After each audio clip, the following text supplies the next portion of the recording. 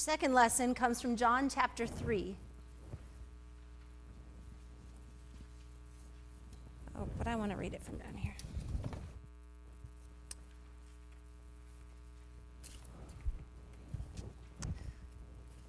Before I read you this passage, I want you to kind of reset your brain and try and listen to this story with new ears. You have heard parts of this passage many times before. Uh, you've probably had well intentioned people on street corners or in restaurants approach you and ask you, Are you born again? That's one understanding of this passage, and it colors how we hear it. You've also seen bumper stickers that simply say John 3:16. Or maybe you've seen the poster board signs for God so loved the world that people hold up at baseball games and football games. Again, very well intentioned people. But it changes how you hear this passage. So, whatever your experience with this story is, try to set that aside and listen with fresh ears and see what you hear. There was a Pharisee named Nicodemus, a leader of the Jews. He came to Jesus by night and said to him, Rabbi, we know that you are a teacher who has come from God. For no one could do these signs that you do apart from the presence of God. Jesus answered him, Very truly, I tell you, no one can see the kingdom of God without being born from above. And Nicodemus said to him, How can anyone be born after having grown old? Can one enter a second time into the mother's womb and be born? Jesus answered, Very truly, I tell you, no one can enter the kingdom of God without being born of water and spirit. What is born of flesh is flesh, and what is born of spirit is spirit. Do not be astonished that I said to you, You must be born from above. The wind blows where it chooses, and you hear the sound of it, but you do not know where it comes from or where it goes. So it is with everyone who is born of the Spirit. Nicodemus said to him, How can these things be? Jesus answered him, Are you a teacher of Israel, and yet you do not understand these things? Very truly, I tell you, we speak of what we know and testify to what we have seen, yet you do not receive our testimony. If I have told you about earthly things and you do not believe, how can you believe if I tell you of heavenly things? No one has ascended into heaven except the one who descended from heaven, the Son of Man. And just as Moses lifted up the serpent in the wilderness, so must the Son of Man be lifted up, that whoever believes in him may have eternal life. For God so loved the world that he gave his only Son, so that everyone who believes in him may not perish, but may have eternal life. Indeed, God did not send the Son into the world to condemn the world, but in order that the world might be saved through him. Those who believe in him are not condemned, but those who do not believe are condemned already, because they have not believed in the name of the only Son of God. And this is the judgment that the light has come into the world, and people loved darkness rather than light because their deeds were evil. For all who do evil hate the light and do not come to the light, so that their deeds may not be exposed. But those who do what is true come to the light, so that it may be clearly seen that their deeds have been done in God. Friends, the grass withers and the flowers fade, but the word of the Lord endures forever. Thanks be to God. Once upon a time, Moses led God's people out of slavery and into the wilderness. It's not the place that Moses had planned on stopping, The promised land sounded so much more appealing. But the people were whiny and needy and prone to worshiping idols and complaining against God. They needed some time in the wilderness to learn some lessons. And boy, did they get their opportunity. Here's the story from Numbers chapter 21 about when they're wandering in the wilderness. You'll recognize this part about the serpent that was in what I just read. The people became impatient on the way. They spoke against God and against Moses. Why have you brought us up out of Egypt to die in the wilderness? There is no food and no water, and we detest this miserable food. Then the Lord sent poisonous serpents among the people, and they bit the people so that many Israelites died. And the people came to Moses and said, We have sinned by speaking against the Lord and against you. Pray to the Lord to take away the serpents from us. So Moses prayed for the people. And the Lord said to Moses, Make a poisonous serpent, set it on a pole and everyone who is bitten shall look at it and live. So Moses made a serpent of bronze and put it upon a pole, and whenever a serpent bit someone, that person would look at the serpent of bronze and live. The Israelites knew better than to be whiny and needy. They knew they shouldn't worship idols and complain about God but they did it anyway. And then they were punished for their actions, and they were ashamed. Or, well, at least they should have been ashamed. They knew better. They believed their punishment was being surrounded by poisonous serpents in the wilderness, with food they didn't like, the fear of going without water, and people were dying. But Moses loved them and prayed to God to spare the people. And that cure came in a very strange way. Moses made a snake and put it on a pole and held it up high for them to look at. And that would heal them.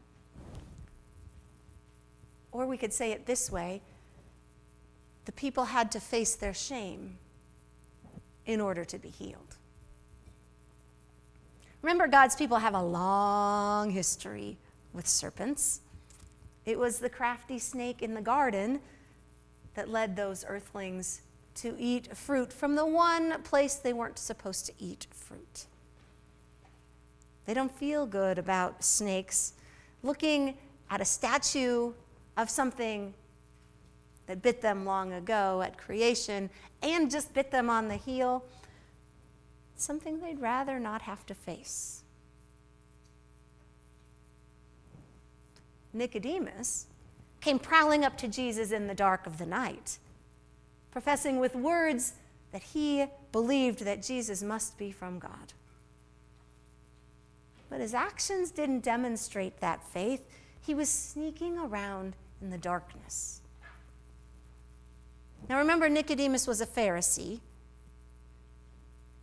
he approached Jesus with belief and doubt, with fear and with a lack of understanding. He talked with Jesus, and poor Nicodemus, he just doesn't get it. How can anyone be born after having grown old? Can one enter a second time into a mother's womb? How can these things be?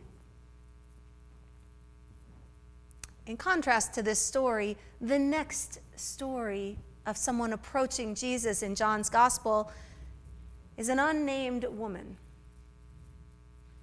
who comes to Jesus and then goes and tells everybody in her town to come and see this man who knew everything about her.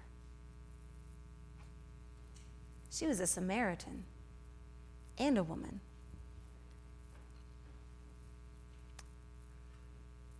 But what does any of this have to do with us? One of my seminary professors, Amy Powell, says when it comes to understanding matters of faith, we're all out of our league.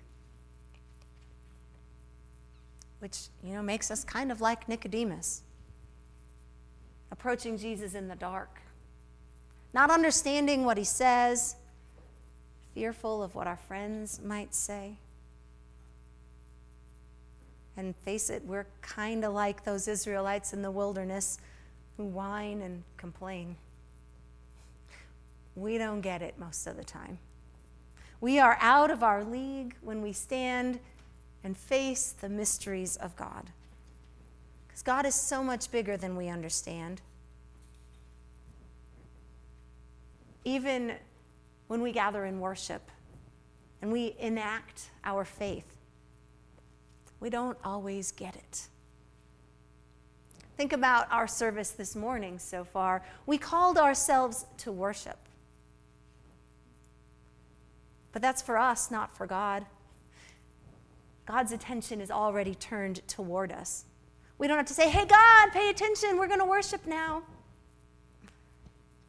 We need to remind ourselves that we are focusing on something bigger than our own understanding.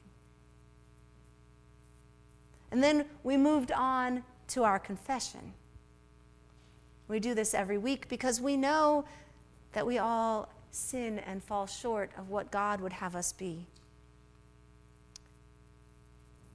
We're pretty good at confessing our sins because we know when we've goofed up. But then we're reminded that through the life and death and resurrection of Jesus, our sins are forgiven and we don't get it.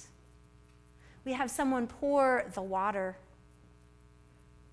Someone, usually myself, reminds us of the grace of God. And we sit there and we think, oh, well, that's really nice. I know you're talking to the person next to me. Oh, you're talking about that person on the other side of the sanctuary. They're such a good person. That forgiveness is for them. Somehow we fail to make that connection that God's grace is for us, for you sitting where you are in your shoes. But we don't get it because the grace of God is so big. We can't quite wrap our minds around it. And then in a little while, we'll share communion. And we'll hear how this is God's table set for us, and we are invited guests. We'll remember that when we approach this table, we are fed spiritually, even as the bread and the juice feed our bodies. We remember that Jesus shared this same meal with his disciples, and we don't understand. It's a mystery of God's love and presence, and we don't get it. We are just like Nicodemus and just like those wandering Israelites. Now, the story about Nicodemus doesn't really do him any favors. He's got a bad reputation for not understanding, but he shows up again in John's gospel. He shows up and speaks out for Jesus to get a fair hearing before a judgment is passed. And then he shows up again later with Joseph of Arimathea to take care of Jesus' body after it's taken down from the cross. Nicodemus approached Jesus in the dark, but he didn't stay in the dark. He began as slow and clueless, but his heart changed.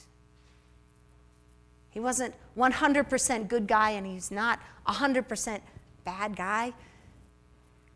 Nicodemus is human, just like us.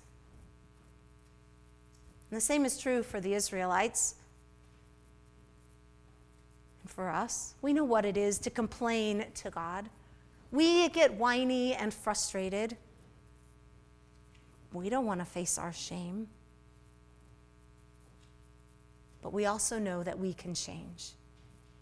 we can face our fears and our shame and look them in the face and know that God forgives us. We are Nicodemus. We are the Israelites in the wilderness. And we too can have a change of heart and face our shame. Isn't it funny how looking upon the serpent of death is what cures the Israelites? Isn't it funny how leaning on Jesus heals us and changes our hearts and our minds? We goof up. We live in the shadows. We travel in the darkness. But that is where faith begins in the dark, facing death, looking our fear and shame in the face and then seeing and learning and remembering that death gives way to new life and our hearts can change. May it be so. Amen.